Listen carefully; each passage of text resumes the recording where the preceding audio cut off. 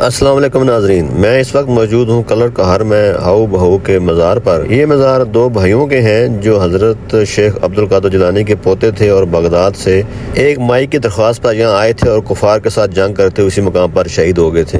और इसके साथ ही दूर पहाड़ी पर एक मोरों वाली सरकार का मज़ार है। ये भी बगदाद से तशरीफ़ लाए थे और साथ मोर भी लाए थे और इन दो भाइयों की मदद भी की थी, लेकिन इसी मकाम पर वो भी शहीद हो गए और ऊपर उनका मज़ार है।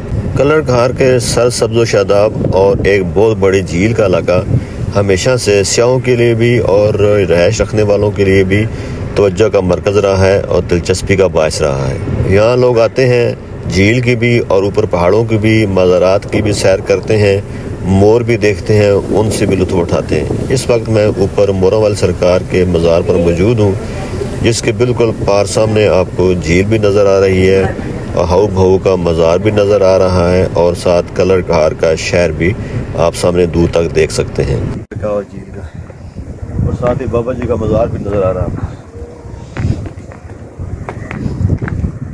मज़ार के साथ आप दाएँ तरफ़ देखें तो दूर तक कलर कहार का शहर है और उसके दाएँ तरफ़ बहुत बड़ी कलर कहार की झील है। ये झील, पहाड़ और ये मज़ारात इस इलाके की ख़ास पहचान है। इसके अलावा लुकाट, आड़ू, अंजीर और जैतून के बागात भी इस इलाके की ख़ास पहचान है।